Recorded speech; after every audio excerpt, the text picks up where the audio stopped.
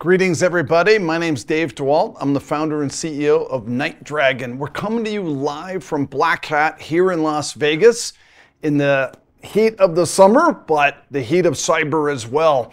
This is our second State of the Cyber event. If you recall, uh, at the beginning of the year, we did a State of Cyber event as well, trying to give you a 360 degree view on the cyber industry.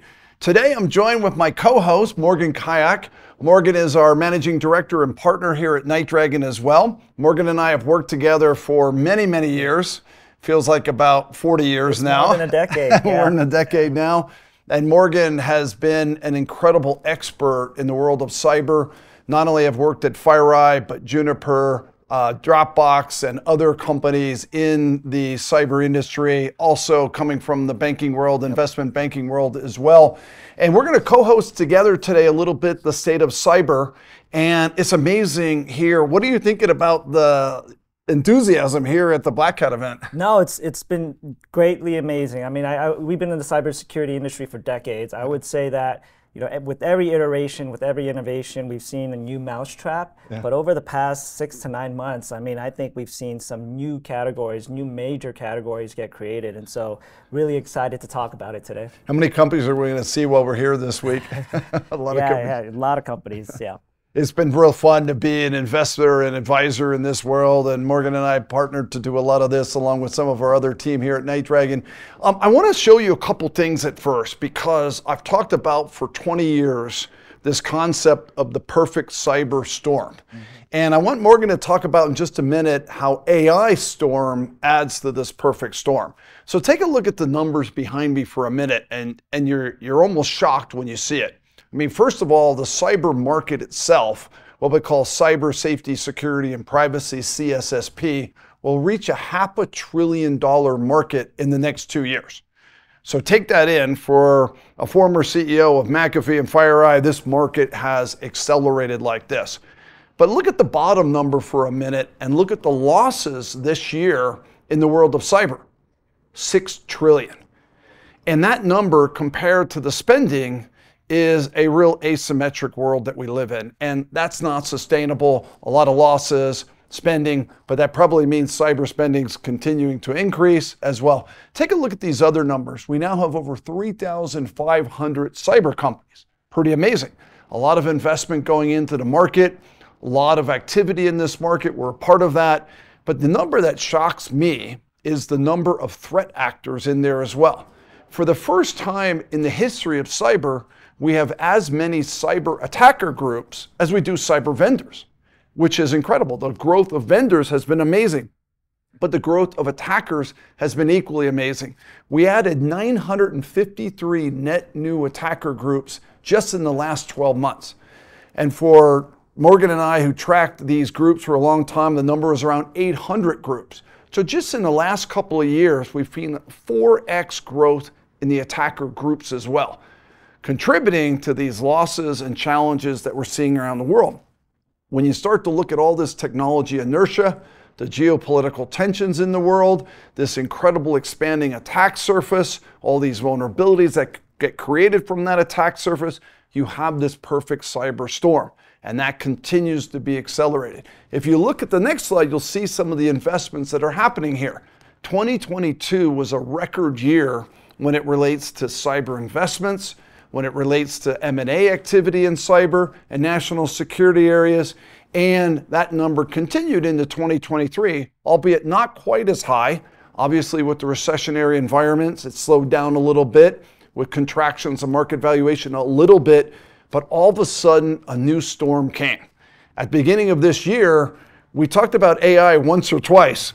Now it's all the rage. So, Morgan, talk a little bit about what AI is doing now and the AI storm that's happening. Yeah, absolutely. So at Night Dragon, we've always been focused on AI, right? AI has been a technology leverage across cybersecurity companies to fulfill the promise of automation. Uh, but one thing we've seen since November of last year, since ChatGPT was released, is a massive adoption of AI, the mind share that AI has had. I mean, the great stat out there is that uh, huge social media platforms like a Twitter and a Facebook took five years, almost five years to get 100 million monthly active users. ChatGPT took two months. Right? So the pace of innovation that we're seeing in AI is just been rampant. And I think as part of that, every CISO, every CEO is beginning to think about AI adoption within their organization. So, you know, you see some numbers behind me here, more than $40 billion invested in AI last year. On the VC side, one of the interesting things that we're seeing going into this year is the amount of VC funding in generative AI last year, 3.6 billion. So far, just eight months into 2023, we're now at 14.4 billion. So we'll largely eclipse five times the 2022 amount. So it's just been amazing.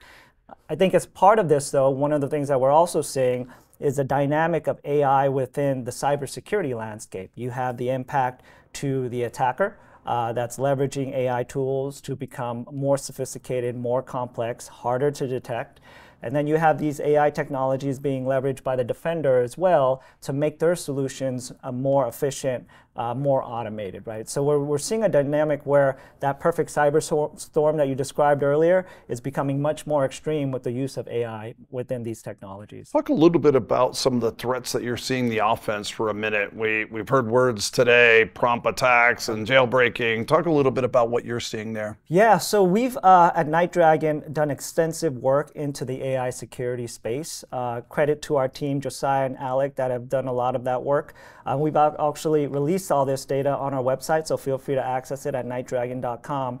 Uh, but one of the things that we're seeing is that the cybersecurity attack vectors are developing around the AI lifecycle. So when you think about the AI lifecycle, it starts with the data, then you develop the model, then you train and validate the model, and then you deploy the model. And within each of those phases, we're actually seeing attacks materialize. On the data side, data poisoning, data privacy, data, data compliance issues.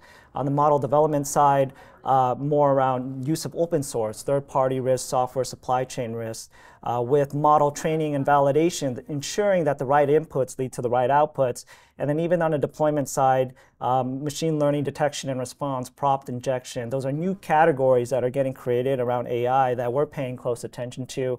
Uh, and I'm super excited. It's one of the first times I'm seeing uh, innovation occur within the cybersecurity space that is uh, new and, and, and it's, uh, it's refreshing.